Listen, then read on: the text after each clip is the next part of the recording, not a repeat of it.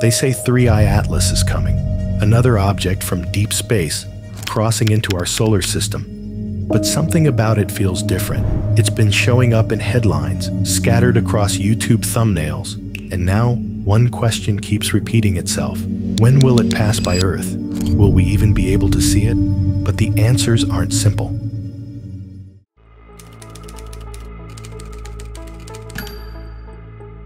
Let's start with the part no one likes to hear. 3i Atlas is not going to pass by Earth. Not the way people imagine. Not like a glowing arc across the night sky. Not like the headlines promise. The truth is, it's never coming that close. Yes, it's entering the solar system. Yes, it's real. But when people ask, is it coming to Earth? What they mean is, will I see it with my eyes? Will it light up the sky? Will it feel close? And the answer, for most of us, is no.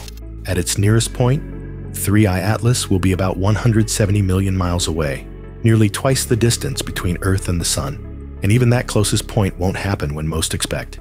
Around late October, the comet will reach its peak activity, flaring up as it nears the Sun. But Earth won't be watching. We'll be on the other side. The moment it lights up, we won't even have a clear view. It's frustrating. A visitor from another star enters our system, comes alive in the heat, and we miss it, not because it's hiding, but because we're simply in the wrong place. Still, the internet's filled with hype, claims that it's heading toward us, that we'll see something spectacular. But those claims ignore the geometry. 3i Atlas isn't aimed at Earth. It's moving across the inner system at an angle that brings it closer to Mars. And even when it swings back toward Earth's side, weeks after perihelion, it'll still be too far for most to notice. No bright display, no visible tail, just a faint blur in a telescope. It's not the kind of thing you'll catch with a glance out your window. Not this time. But that doesn't make it any less important. Because what really matters is that it came at all. This object, this icy fragment from another star, crossed into our system, moved through our time, and most of us will never even know. No fanfare, no fire in the sky, just motion in silence, adrift through darkness a presence that doesn't wait to be seen, because sometimes what passes by us never really comes close, not in distance, not in light, only in meaning.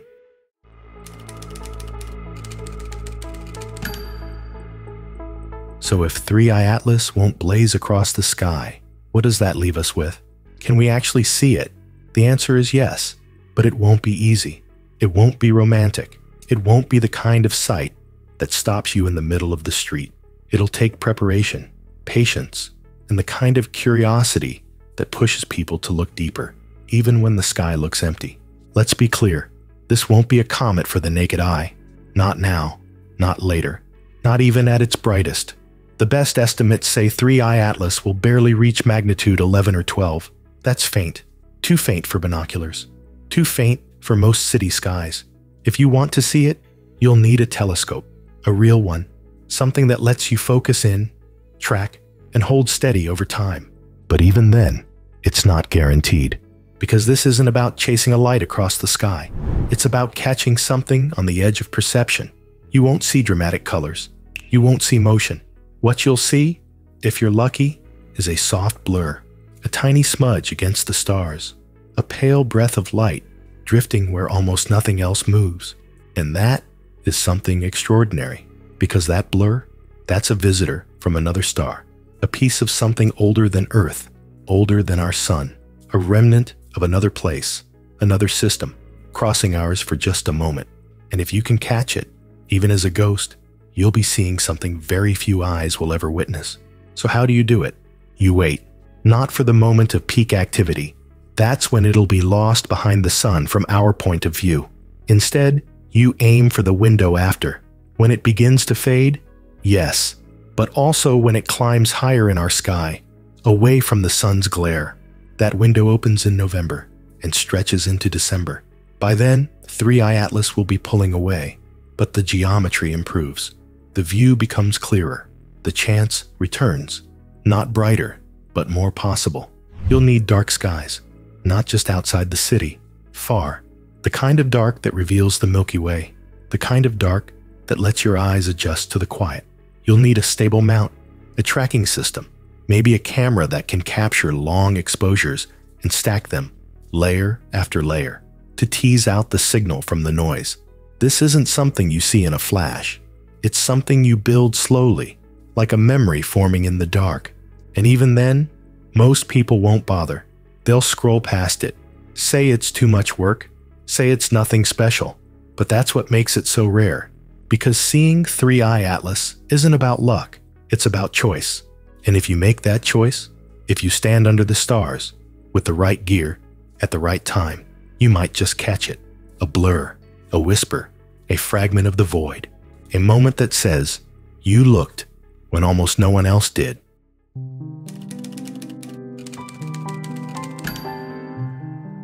So maybe we won't see it, not with our eyes, not like we imagined. 3i Atlas won't streak across the sky in a blaze of green. It won't be shared in viral videos or caught in crowds looking up from city streets. It will pass, distant, cold, quiet, unnoticed by almost everyone. And yet, it still matters, because this isn't just another comet. It's not from here. 3i Atlas came from beyond, beyond our planets, beyond our star, beyond everything we've ever touched. It traveled alone through the dark for millions of years, frozen, silent, carrying the dust and memory of a place we'll never see. And now, for the briefest moment, it's here, in our system, within reach, but not of our hands, only of our attention. That alone makes it extraordinary. In all of human history, we've confirmed only three of these. First came Oumuamua, fast and strange, shaped like a shard, and gone before we could truly look. Then Borisov, more familiar, but still undeniably from another sun. And now, 3i Atlas, not dramatic, not fiery, just real. And real is enough. These objects don't follow our rules. They don't loop back. They don't orbit neatly. They enter, they drift, and they disappear. No return ticket, no second chance. And maybe that's what makes them matter so much.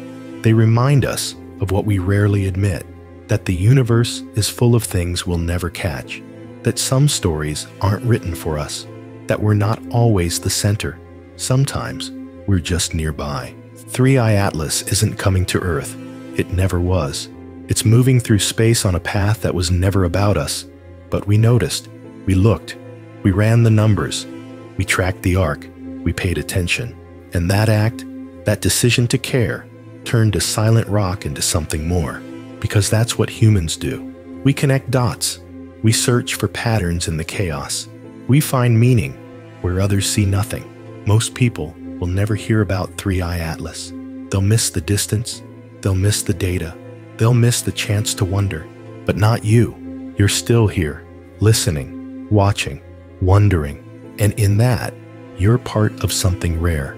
Because this isn't just about a comet, it's about being awake, about choosing to care about what moves beyond the light, about recognizing that sometimes what we notice, even from far away, tells us more about who we are than what we're looking at. In the silence, in the drift, in the space between stars, we see ourselves. It won't pass close, it won't light up the sky, and most people will forget it even happened. But maybe that's the point.